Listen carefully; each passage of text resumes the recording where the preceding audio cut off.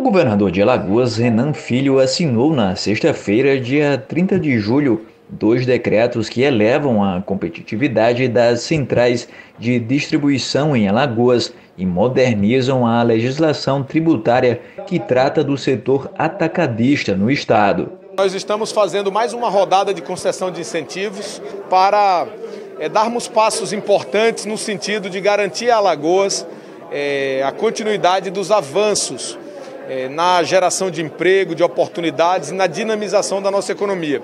Vejam vocês que no ano passado, o ano da pandemia, o Brasil inteiro perdeu empregos. Nós fomos um dos únicos três estados no Brasil que conseguimos gerar emprego. Isso é importante porque demonstra a disposição do Estado de se aproximar da iniciativa privada e de garantir é, novos investimentos em Alagoas. Com as mudanças implementadas, Alagoas se torna ainda mais competitiva na captação de novas empresas que geram emprego e renda à população.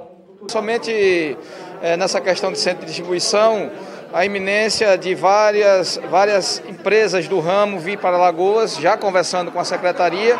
A gente não pode aqui adiantar, porque nessa tramitação a gente guarda a questão do segredo, que é muito importante para que as coisas se concretizem e no momento posterior a gente anunciar para a imprensa.